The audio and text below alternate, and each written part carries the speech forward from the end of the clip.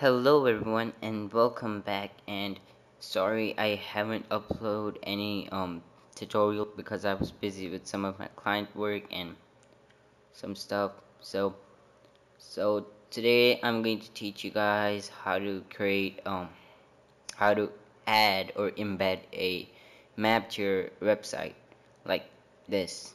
So today it's it's a really simple um, step to follow and you'll be done in less than one minute. So I have Dreamweaver open. So now what we are going to do is we're going to go to google.com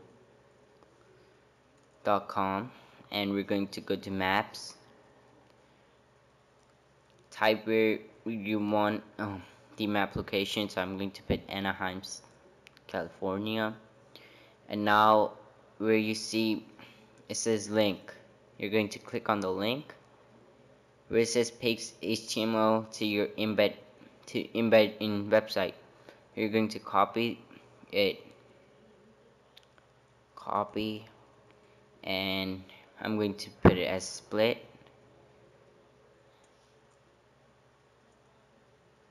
And here paste it. I'm going to save this document as on the desktop as map tutorial. And control alt and E. No it's F12 sorry guys. As you can see the map appears here but if you want to change the height or width it's really simple select the map, go to split view. There you see width. We're going to make it 960 by 400 will be good. And you go back to design and F12 is the shortcut key for Windows.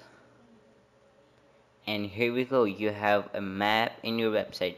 So guys, I hope this tutorial helped you and you learned something new.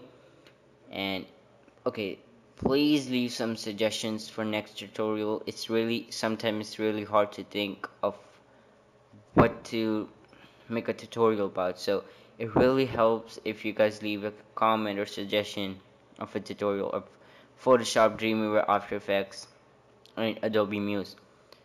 You guys say it and I will try my best to make it.